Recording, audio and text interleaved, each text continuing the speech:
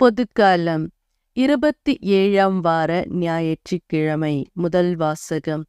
ஆண்டவரது திராட்சை தோட்டம் இஸ்ரேல் குடும்பத்தாரே. இறைவாக்கினர் இசையா நூலிலிருந்து வாசகம் அதிகாரம் ஐந்து இறை வார்த்தைகள் ஒன்றிலிருந்து ஏழு முடிய. என் நண்பரை குறித்து கவி பாடுவேன் என் அன்பரின் திராட்சை தோட்டத்தை பற்றி காதல் பாட்டொன்று பாடுவேன்.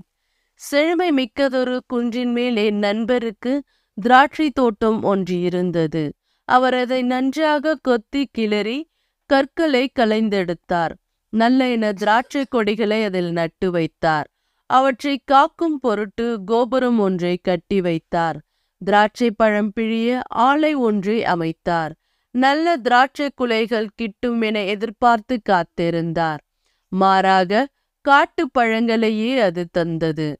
அப்பொழுது என் நண்பர் சொல்கிறார் எருசலேமில் குடியிடுப்போரே யூதாவில் வாழும் மனிதரே எனக்கும் என் திராட்சை தோட்டத்துக்கும் இடையே நீதி வழங்குங்கள். என் திராட்சை தோட்டத்துக்கு செய்யாது நான் விட்டுவிட்டதும் இனி செய்யக்கூடியதும் ஏதும் உண்டோ? நற்கனிகளை தரும் என்று நான் காத்திருக்க காட்டுப்பழங்களை தந்தது என்ன?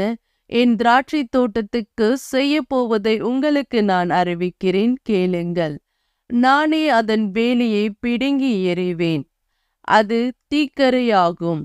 அதன் சுற்றுச்சுவரை தகர்த்து எறிவேன். அது மிதியுண்டு போகும். நான் அதை பாழாக்கி விடுவேன். அதன் கிளைகள் நறுக்கப்படுவது இல்லை. கலையை அகற்ற மண் கொத்தப்படுவதும் இல்லை. நெருஞ்சியும் முட்புதர்களுமே அதில் முளைக்கும். அதன் மீது மழை பொழியாதிருக்க மேகங்களுக்கு கட்டளையிடுவேன். படைகளின் ஆண்டவரது திராட்சை தோட்டம் இஸ்ரேல் குடும்பத்தாரே அவர் ஆர்வத்துடன் நட்ட கன்று யூதா மக்களே நீதி விளையும் என்று எதிர்நோக்கி இருந்தார் ஆனால் விளைந்ததோ இரத்த பழி. நேர்மை தழைக்கும் என்று காத்திருந்தார் ஆனால் தழைத்ததோ முறைப்பாடு. இது ஆண்டவரின் அருள்வாக்கு. இறைவா உமக்கு நன்றி. இரண்டாம் வாசகம். அமைதியை அருளும் கடவுள் உங்களோடு இருப்பார். திருத்துதர் பவுல் பிலிப்பேருக்கு எழுதிய திருமுகத்திலிருந்து வாசகம். அதிகாரம் நான்கு இறை வார்த்தைகள் ஆறிலிருந்து ஒன்பது முடிய.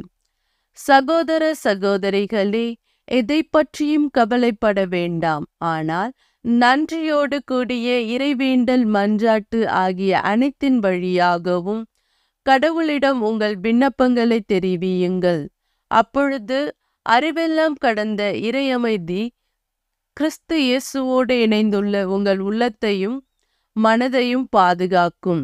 இறுதியாக சகோதர சகோதரிகளே உண்மையானவை எவையோ கண்ணியமானவை எவையோ நேர்மையானவை எவையோ தூய்மையானவை எவையோ? விருப்பத்தக்கவை எவையோ? பாராட்டுதற்கூறியவை எவையோ? நற்பண்பு உடையவை எவையோ? போற்றுதற்கூறியவை எவையோ? அவற்றையே மனதில் இருத்துங்கள். நீங்கள் என்னிடம் கற்றுக்கொண்டவை என் வழியாய் பெற்றுக்கொண்டவை என்னிடம் கேட்டு அறிந்தவை என் வாழ்வில் நீங்கள் கண்டு உணர்ந்தவை யாவற்றையும் கடைபிடியுங்கள். அப்பொழுது அமைதியை அருளும் கடவுள் உங்களோடு இருப்பார். இது ஆண்டவரின் அருள்வாக்கு. இறைவா உமக்கு நன்றி. நற்செய்தி வாசகம். வேறு தோட்ட தொழிலாளர்களுக்கு அத்திராட்சை தோட்டத்தை குத்தகைக்கு விடுவார்.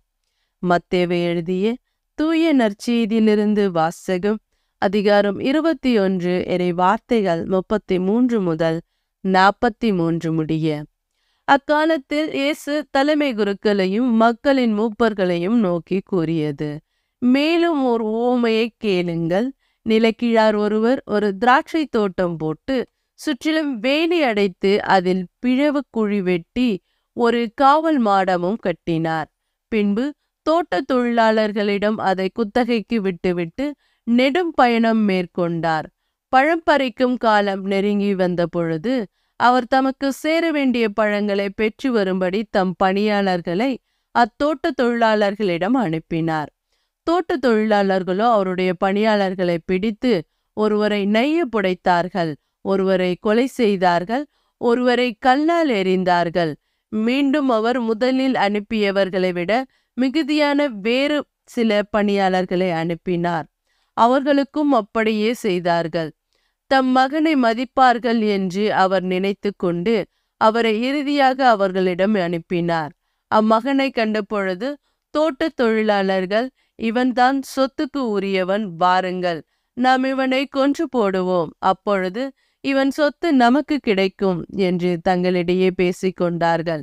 பின்பு அவர்கள் அவரை பிடித்து திராட்சை தோட்டத்திற்கு வெளியே தள்ளி கொன்று போட்டார்கள். எனவே திராட்சை தோட்ட உரிமையாளர் வரும்பொழுது அத்தொழிலாளர்களை என்ன செய்வார் என எஸ்ஸு கேட்டார். அவர்கள் அவரிடம் அத்தீயோரை ஈவி இரக்கமின்றி ஒழித்து விடுவார். உரிய காலத்தில் தமக்கு சேர வேண்டிய பங்கை கொடுக்க முன்வரும் வேறு தோட்ட தொழிலாளர்களுக்கு அத்திராட்சை தோட்டத்தை குத்தகைக்கு விடுவார் என்றார்கள். இயேசு அவர்களிடம் கட்டுவோர் புறக்கணித்த கல்லே கட்டிடத்துக்கு மூளைக்கல் ஆயிற்று. ஆண்டவரால் இது நிகழ்ந்து உள்ளது. நம் கண்களுக்கு இது வியப்பாயிற்று என்று நீங்கள் மறைநூலில் ஒருபொழுதும் வாசித்தது இல்லையா? எனவே உங்களிடம் இறையாட்சி அகற்றப்படும். அவ்வாட்சிக்கு ஏற்ற முறையில் செயல்படும் ஒரு மக்களினத்தார் அதற்கு உடன்படுவார் என நான் உங்களுக்கு சொல்லுகிறேன் என்றார். இது வாழ்வு தரும் கிறிஸ்துவின் நற்செய்தி. கிறிஸ்துவே உமக்கு புகழ்.